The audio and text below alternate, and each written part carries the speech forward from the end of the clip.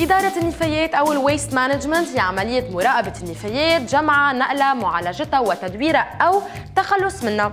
من أهم الطرق للتخلص من النفايات هي الطمر وهي طريقة معتمدة بعدد كبير من البلدان. هذه الطريقة تعتبر نظيفة ومش مكلفة إذا تمت بالشكل الصحيح. وبيتم عادة ضغط النفايات لتصغير حجمها وتغطيتها لمنع تكاثر الحشرات وبيتم تركيب نظام لاستخراج الغاز اللي ممكن استعماله لتوليد الكهرباء. حرق النفايات هو طريقة تانية للتخلص منها من خلال تحويلها لحرارة وغاز وبخار ورماد. ومع أنه هيدي الطريقة عملية ولكنها مضرة بسبب الغاز اللي بينتج عن الحريق.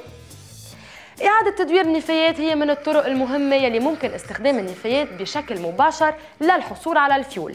بتختلف طرق جمع النفايات بين المدن والدول وبلبنان تهتم شركة سوكلين بتجميع ونقل وطمر النفايات وساهمت هيدي الطريقة بتقليل النفايات بلبنان. ما تستهلكوا مواد كتير؟